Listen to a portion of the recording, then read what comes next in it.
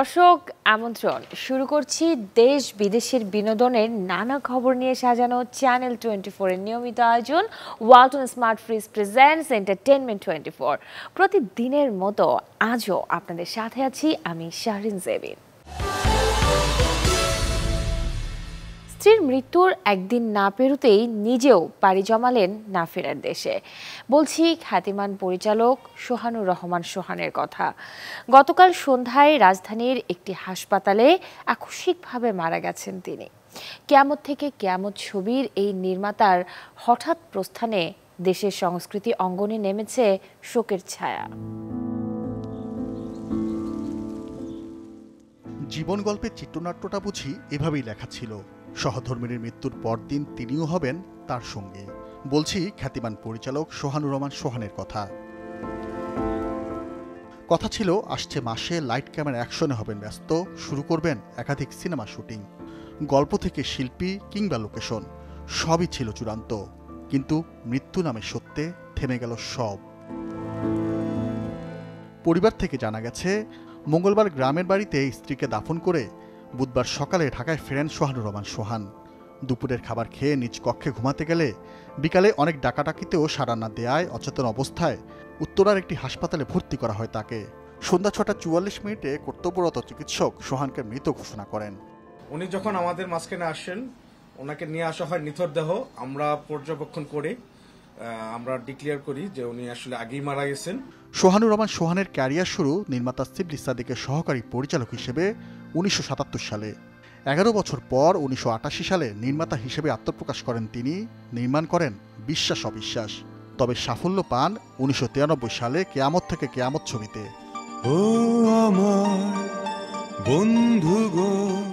এরপর শুধুই এগিয়ে গেছেন নির্মাণ করেছেন আমার ঘর আমার বেহেস্ত আমার দেশ আমার প্রেম অনন্ত ভালোবাসা আমার জান আমার প্রাণ কোটি টাকার প্রেম সে আমার মন কেড়েছের মতো ছবি। এই নির্মাতার হঠাৎ মৃত্যুর খবরে হাসপাতালে ছুটে গেছেন সহকর্মী অগ্রজ অনুজোড়া। এমন প্রস্থানে সবাই যেন বাকরুদ্ধ। চলচ্চিত্র শিল্পের জন্য একটা বিরাট ক্ষতি। সোহানের জায়গা আর কেউ পূরণ করতে পারবে বলে আমার ধারণা। বুধবার রাতে উত্তরায় প্রথম জানাজা শেষে সোহানুর রহমান সোহানকে নিয়ে যাওয়া হয় টাঙ্গাইলে। সেখানে দ্বিতীয় জানাজা শেষে আজ সকাল আটটা ত্রিশ মিনিটে স্ত্রীর কবরের পাশেই এই নির্মাতাকে চিরসমাহিত করা হয়েছে। Nazmul Alam Rana channel twenty four পরিচালক সোহানুর রহমান সোহানের আকস্মিক মৃত্যু মেনে নিতে পারছেন না তার সহকর্মীরা।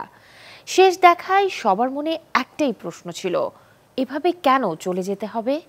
দর্শক এবারে জানব সহকর্মী অগ্রজ অনুজদের স্মৃতিচারণে একজন সোহানুর রহমান সোহানের গল্প। সোহানের জায়গা আর কেউ পূরণ করতে পারবে বলে আমার ধারণা। কারণ সোহান একজন ভালো নির্মাতা ছিল। সোহান দারুণভাবে আবেগপ্রবণ লোক ছিল। সোহান রোমান্টিক ছিল। সোহানের মৃত্যুতে আমাদের চলচ্চিত্রের অপূরণীয় ক্ষতি হয়ে গেল। সোহান চলচ্চিত্রে এসেছে সেভেন্টি সেভেন। আমিও কিন্তু এসেছি সেভেন্টি সেভেন। এবং সোহানের জীবনের প্রথম ছবি যেটি সেই ছবিতে কিন্তু আমি অভিনয় করেছি।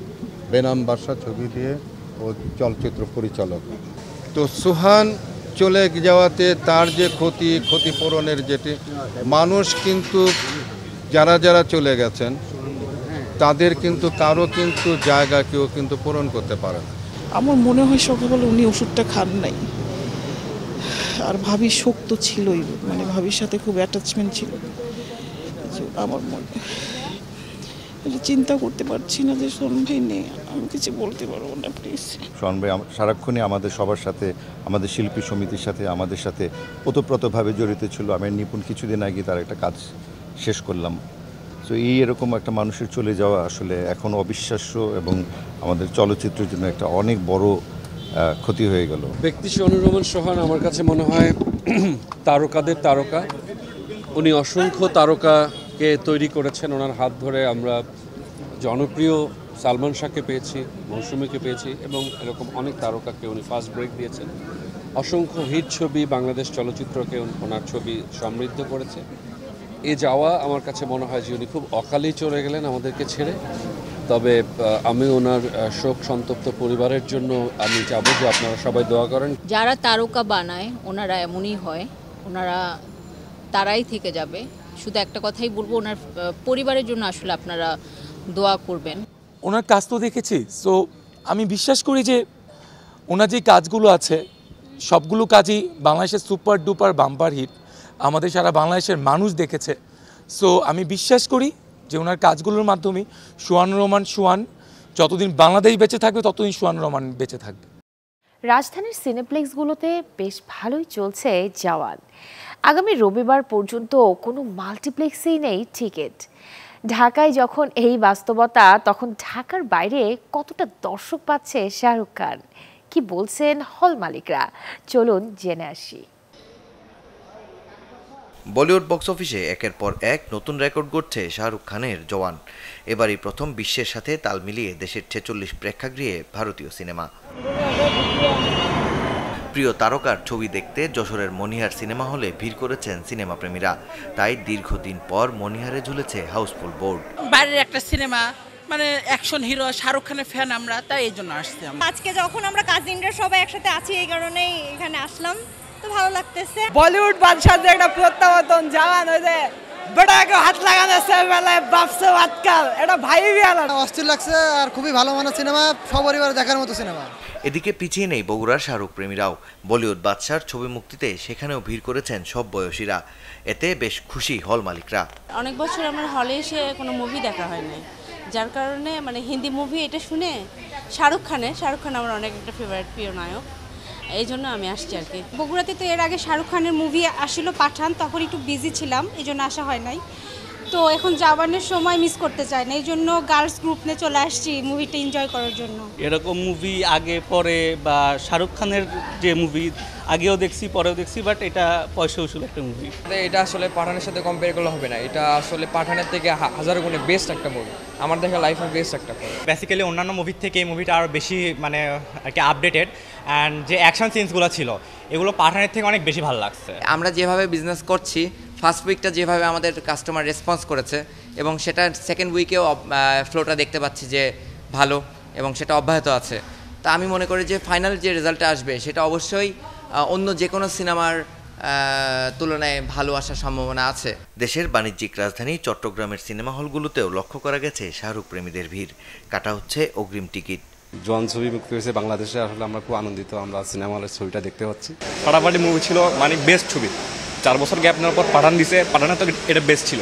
খুবই খুবই এনজয় করছি। অনেক মাস এন্টারটেনমেন্ট একটা ফিল্ম ছিল মানে সবাই মিলে একসাথে দেখার জন্য। Entertainment film Hindi Bollywood film যেরকম হয় আর কি। অস্থির একটা মুভি সবাইকে দেখার অনুরোধ রইল। সেরা মুভি আমরা বেসিক্যালি এই মান্থের আট তারিখ থেকে চালাচ্ছি। এখনও পর্যন্ত চলতেছে এটা। নেক্সট উইকও আমরা এক্সটেন্ড করছি পনেরো তারিখে কালকে থেকে আবার নেক্সট উইকেও চলবে। যদি ভালো যায় আমরা আবার এর পরের উইকেও চালাবো। মাল্টিপ্লেক্সের অভিজ্ঞতা ভিন্ন হলেও দেশের সিঙ্গেল স্ক্রিনের দর্শকদের চাওয়া জওয়ানের সাফল্যে সিনেমা প্রেমীদের কথা মাথায় রেখে ফের নবরূপে সাজুক দেশের জরাজীর্ণ সিনেমা হলগুলো। মাকসুদুল হাকিমু চ্যানেল টোয়েন্টি সরাসরি কাপিল শর্মার শো দেখতে চান? তাহলে চার হাজার নয়শো নিরানব্বই রুপিতে কাটুন টিকিট। কথাটা আমি বলছি না। নেট দুনিয়ায় এমন তথ্যের এক ছবি ভেসে বেড়াচ্ছে, যেখানে জানানো হয়, কপিল শর্মার নতুন সিজন সরাসরি দেখার সুযোগ নাকি থাকছে টিকিট কেটে। ভক্ত সাধারণেরা যখন এত টাকার টিকিট নিয়ে পড়েছে দুশ্চিন্তায়, তখনই এর সমাধান দিলেন কপিল শর্মা নিজেই। এক অনুরাগীর টিকিট নিয়ে করা প্রশ্নের জবাবে কপিল জানান, তার শো দেখতে কোনো রকম টিকিট কিংবা অর্থের প্রয়োজন নেই। সম্পূর্ণ বিনা পয়সাতেই কপিল শর্মা নিজের লাইভ শো দেখার অনুমতি দিয়ে রেখেছেন। এসব প্রতারক থেকে নিজের অনুরাগীদের সাবধানে থাকতে বলেছেন জনপ্রিয় এই কমেডিয়ান। খুব শিগগিরই শোয়ের নতুন সিজন নিয়ে হাজির হবেন কপিল শর্মা। শুক্রবার হলিউড প্রেক্ষাগৃহে মুক্তি পাচ্ছে পাঁচ ছবি। তালিকায় যেমন আছে অ্যাকশন, ক্রাইম, ড্রামা ঘরানার সিনেমা, তেমনি আছে হরর, কমেডি, ডকুমেন্টারি মুভিও। জনপ্রিয় গোয়েন্দা হারকিউলি পারোর চরিত্রে শুক্রবার আবারও পর্দায় আসছেন হলিউড তারকা কেনেথ ব্রানাগ মুক্তি পাচ্ছে গোয়েন্দা ফ্র্যাঞ্চাইজির হরর ড্রামা ঘরানার ছবি, আ, হান্টিং ইন ভ্যানিস। আলোর মুখ দেখবে অ্যাকশন কমেডি ঘরানার মুভি, আউটলো জনি ব্ল্যাক। এদিন যেমন মুক্তি পাবে কমেডি গল্পের ছবি ক্যাম্প হাইড আউট তেমনি পাবে ড্রামা ছবি মাই লাস্ট বেস্ট ফ্রেন্ড। পনেরো সেপ্টেম্বর মুক্তির অপেক্ষায় আছে অ্যানিমেটেড মুভি দ্য ইনভেন্টর। দর্শক, এই ছিল ওয়ালটন স্মার্ট ফ্রিজ প্রেজেন্টস আজকের এন্টারটেনমেন্ট টোয়েন্টি ফোরের আয়োজনে। বিনোদনের সব খবর জানতে ভিজিট করুন আমাদের ফেসবুক পেজ এবং ইউটিউব চ্যানেলে আসছে রবিবার, ঠিক সন্ধ্যা ছটা ত্রিশ মিনিটে আবারও দেখা হবে। সেই পর্যন্ত সবাই ভালো থাকুন, সুস্থ থাকুন। চ্যানেল টোয়েন্টি ফোরের সাথেই থাকুন।